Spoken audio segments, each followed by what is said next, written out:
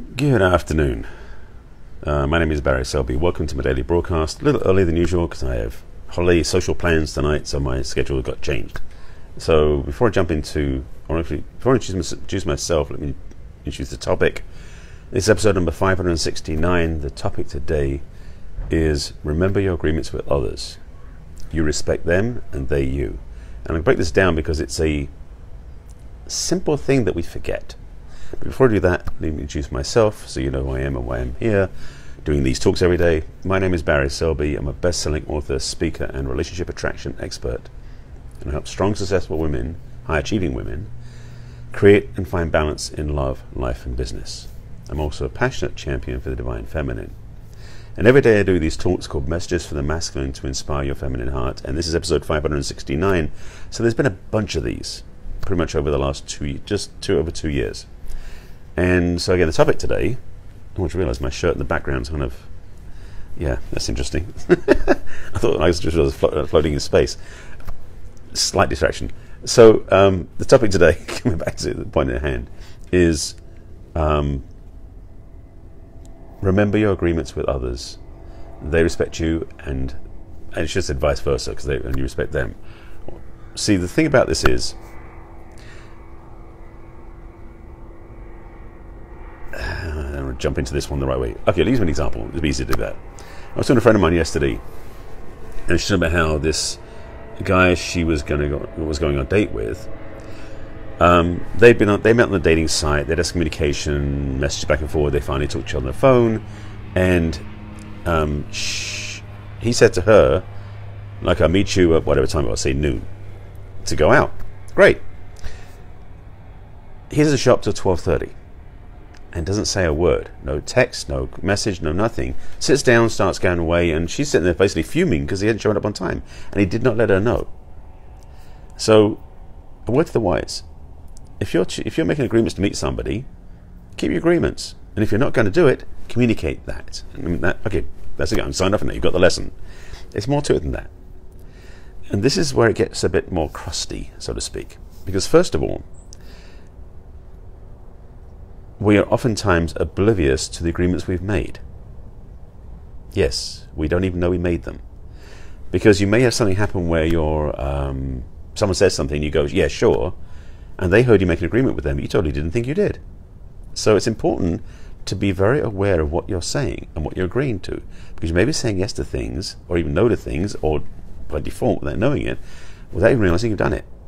So be aware of what you say and what communications you have.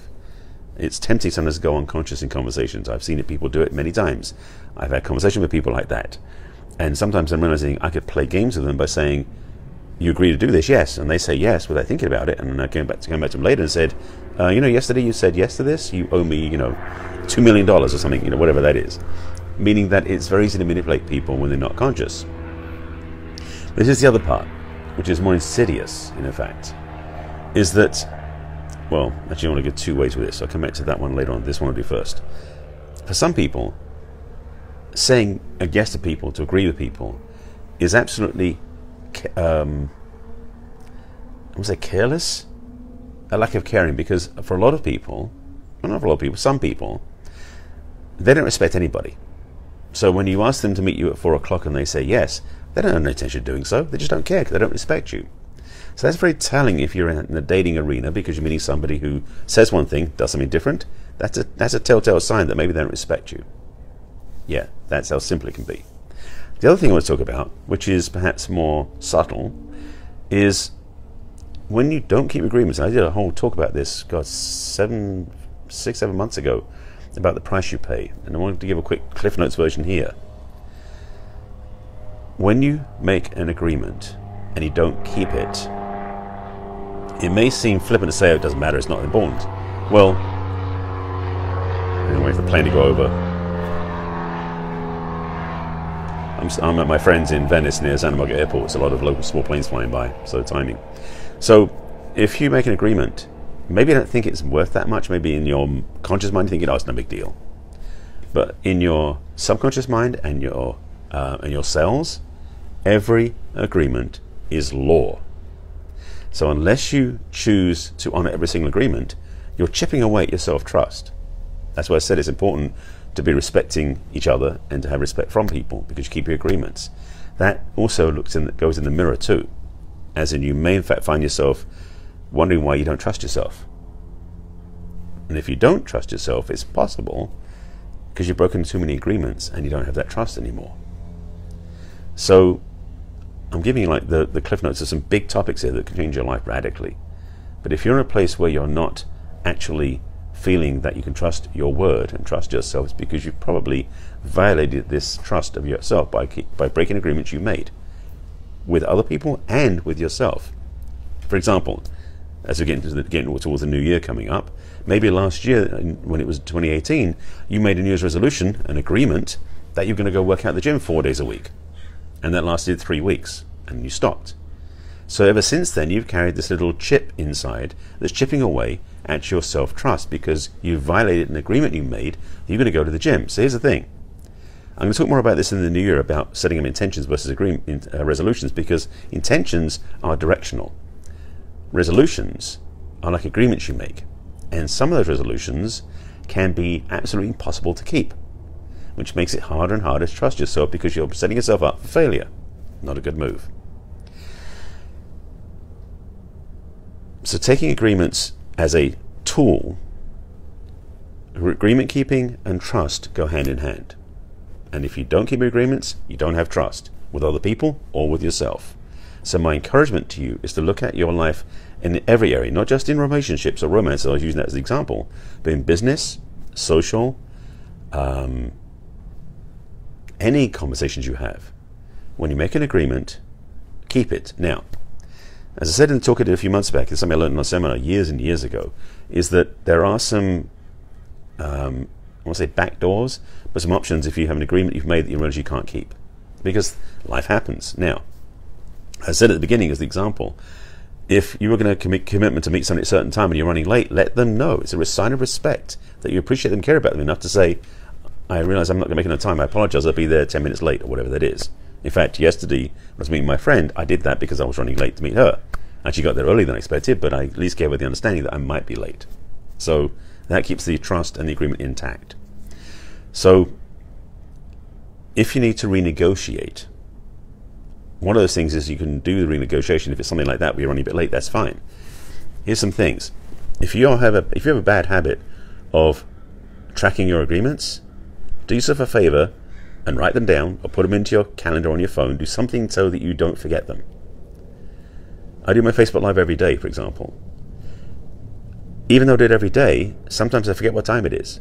So I have a calendar notification in each day, in, in in the day. I move it from day to day that reminds me to do my Facebook Live. That's how I don't break my agreement with myself to keep doing this every day. It's part of my commitment to myself and to whoever's watching these as well. So one thing is make note, however you do that, either digitally or physically, so you remember these things.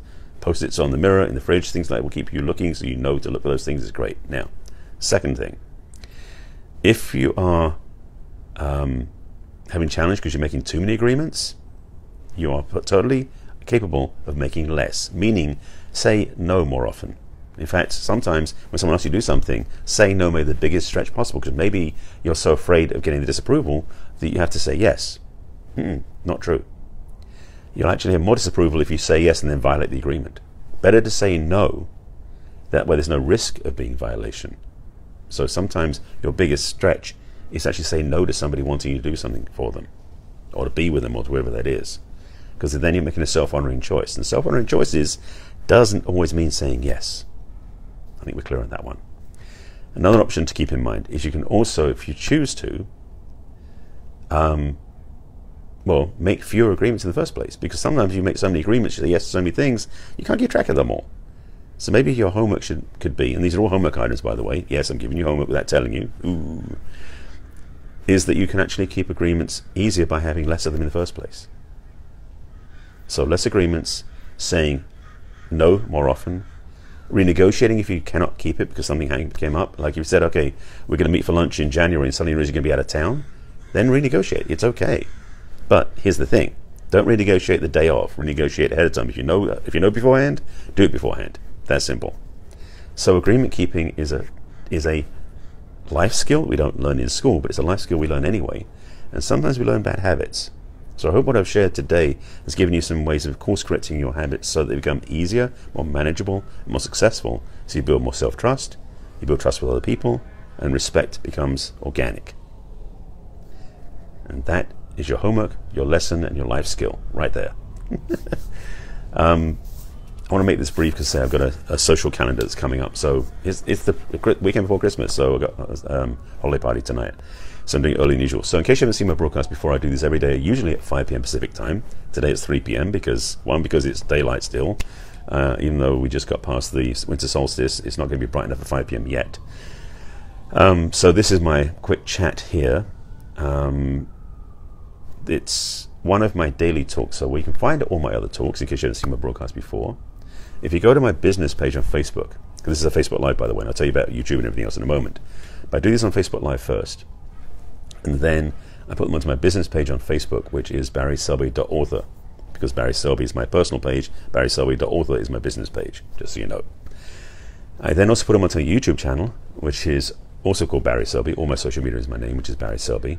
And there's a playlist on there called Messages from the Masculine. By the way, if you'd be willing to subscribe to my YouTube channel, I appreciate that. Again, Barry Selby on YouTube. Third, I have a podcast which I'm slowly rolling out, which is also called Messages from the Masculine, same as my playlist on, on YouTube. That's my podcast on iTunes. You can subscribe to that as well. And you can listen to the audios that I've been pairing with my video tracks for a while now, so you can listen to those when you're driving, doing other things. I think that's it. If this stirs up some questions for you, please put them below, and I'll respond to you when I sign off. Um, watch on YouTube or on Facebook, comments are welcome, and interaction is definitely welcome as well. Um, if you want to talk further and want some understanding about how you can have better relationships, I'll leave the link in the comments for my discovery session, a gift to you. So you can sign up for one of those and have a chat, and we can see if working together would be a good idea. And otherwise, you've got your homework. I didn't tell you beforehand. Sorry. I broke an agreement. I usually tell you ahead of time. But this was a sneak attack. I wanted to give you something to think about, but also something you can take into your life. And with that, I hope you do take it into your life because it will transform every relationship you have. So, once again, thank you for watching. I will see you again tomorrow. Um, tomorrow, I'm actually at a party all afternoon, so it may be later in the evening, it may be early, I'm not sure when yet, but stay tuned. You'll see my broadcast either live or in replay. So, for that, I thank you for watching. I will see you again tomorrow. Take care. Bye.